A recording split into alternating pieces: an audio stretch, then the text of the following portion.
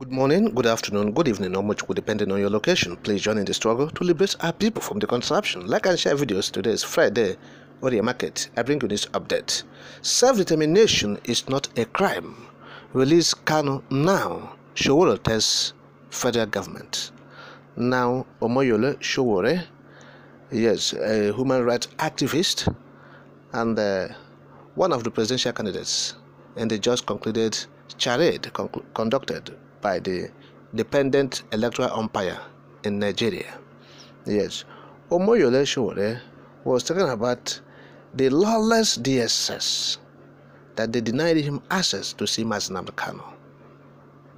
Said Mazen Kanu invited him to DSS hell to come and see him over there. But the lawless DSS refused him access. They denied him access to go and see Mazen Kanu.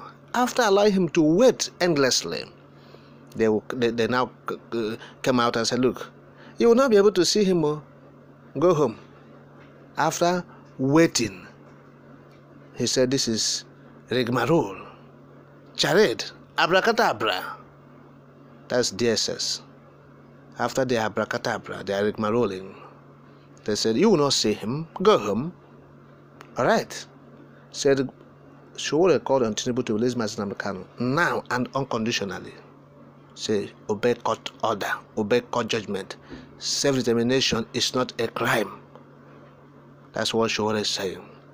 So, Sowore is saying, Free Nnamdi now. I spent several hours at the official DSS NG headquarters in Abuja. I was invited by Onyendu Mazen to pay him a visit in custody. However, after hours of rigmarole, the DSS told me, I can't see him today. This is the second time I am being denied lawfully ordered visitation to Mazi since his illegal abduction from Kenya. That was the statement released by Omoyele, Omoyele Sowore, saying, DSS lawless. Yes, they abducted Mazen Kanu, clamped him in the detention facility, refused people to visit him. That is illegality begetting illegality. Yeah, abduction, torture. Okay, you denied him access to medical experts only recently. That they said he can visit a doctor. You denied him access to his prayers, prayer books, and reading materials, everything. And uh, you denied him visitors.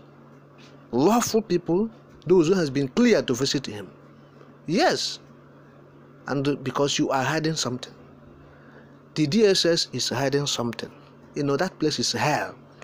That place is uninhabitable. Human being cannot stay there. And that is why they're keeping us on the Kanu. They don't want Sowore to, to, to, to go there to say things so that he will not come out and tell the world what he's saying there. That's why they're hiding. They know what they are committing. The offense they are committing is grievous.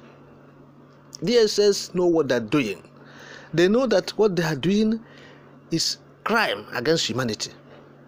So they don't want anybody to go there to see what is happening there, particularly those people like uh, of course, uh, is a human rights activist.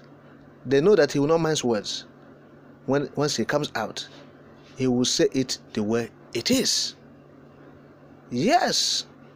So DSS, if you're not hiding anything, if you're not hiding anything under your sleeve, why won't you allow people to see Mazen particularly Sowore, that has been cleared to see him?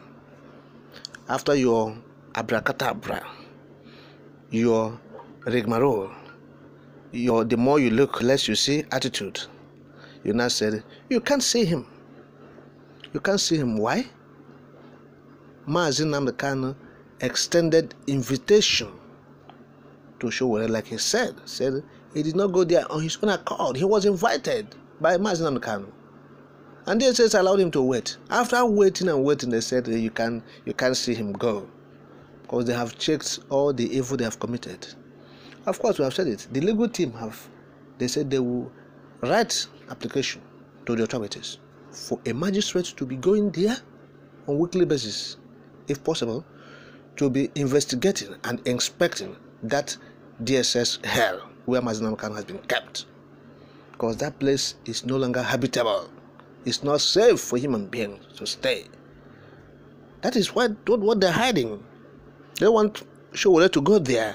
So I will not come out and tell the public what they have seen. But being that as it may, we have known what is happening. The legal team have exposed it. Said it's not habitable. Yes, that place is uninhabitable. Uninhabitable. That's people cannot stay, human beings cannot stay there. It's not fit for habitat, for human habitat. And you you you uh, you, you allow Mazamka to stay there so that he will continue to you know be infected by diseases. Yes. So what government of Nigeria is doing amounts to you know to crime against humanity in all aspects. That is what they are doing. And that's why they are afraid. They have skeletons in their cupboard. Tinubu has no reason to keep Mazinam Kanu in DSS hell. If not, that himself and the header are the same, like Sowore have stated. Sowore said they are the same. The header and the Miloko, no difference. There's no distinction whatsoever. They are best of a feeder. That's why they flock and congregate together. Yes. So for people who are still thinking, oh, what Nigeria? Okay?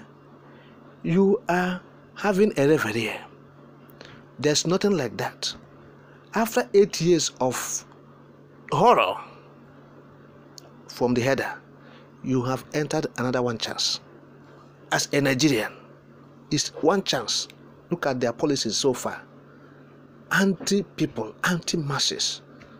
The rich getting richer, the poor getting poorer. No policy that is people friendly.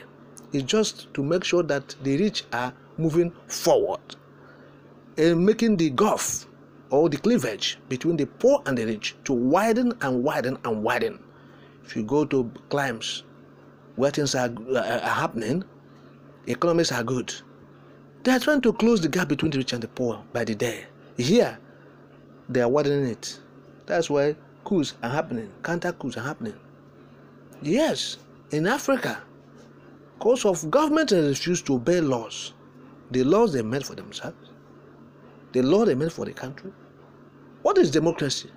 What is governance? If not that the people have submitted their own authority as human beings under the law, not under any human being. Their rights and the authority they have submitted under the law so that the law will govern them. Not an individual will govern them, but a human being will not implement the law. That's what you are there doing, not to rule people. By fiat, you're not an emperor. You are there to govern the people with their law they have made. That is governance. You are not a dictator to go there and dictate to them. You are to govern them by the laws they have made for themselves. We have underscored the 40 or the of the Constitution of Nigeria, 1999 Constitution, is fraud in the first instance. It's fraudulent, that document. But we said, obey it then. That fraud, obey it. They will not obey it they did it to favor themselves. But if they see anywhere where their whims and caprices will not be accommodated, they will flagrantly violate it. And that is what Tinubu is doing. Calling that part of lawlessness of Buhari. That's what she always say in essence.